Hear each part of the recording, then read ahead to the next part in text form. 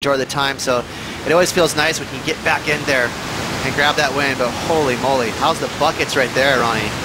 And again, if she's going to get the win over Bronte, that's a huge advantage for her. She's strong. She's got perfect timing. We always talk about her timing. That was one of the better waves we've seen from her in a while. Well, let's see what Bronte can do with her ride. A lot quicker off the bottom there, but that was a tricky wave to navigate. A bit of a closeout on the reef there, so not a score for Bronte. Huge advantage for Bianca. Well, a little bit of that, that point break approach I thought was on display there when Bianca took off on her wave. 8.93 the score.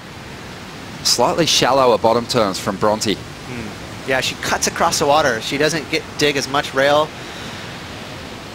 I also don't see from Bronte uh, much of a pivot. She likes to kind of have a wide arc in her bottom turn, so a lot of speed, but that's something she could take a look at. If there's a section right there at 12 o'clock, she might want to pivot and take that sharper angle. We might try and get a comparison on, on both their approaches to the lip, because Bianca, she certainly drops down way more out onto the flats, and as a result, her approach to the lip is much more vertical and mm. a little tighter right in the critical part of the wave. And as a result, she slows her tempo down. She likes to get in front and take that, that kind of a slower pivot so that she can time that really, that money section we've been talking about. Wiggolly is one of those guys that really exposes that.